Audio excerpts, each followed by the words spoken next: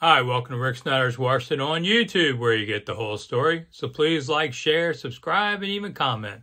Hey, Tony Perkins, I'm ready to drop some dimes of knowledge on you here.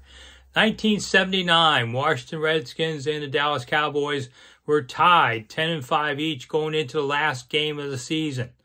And it's going to be a tough and rough one we'll always remember.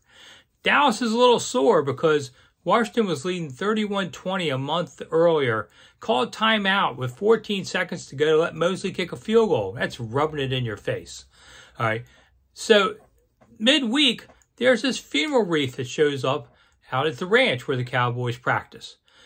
And Harvey Martin, who is nicknamed Too Mean, uh, said, hey, this thing means we're dead.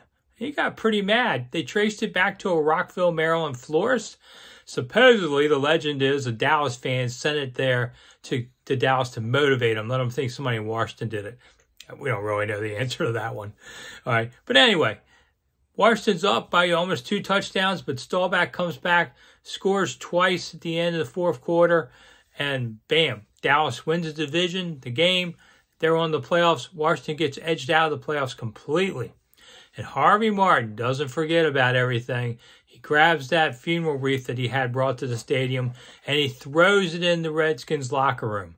Now, normally this would start a fight. I mean, a big fight.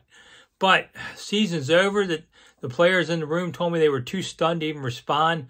And Mark Moseley actually was hit by that wreath. The, the metal stand hit his knee, gashed his knee. He actually needed stitches from it.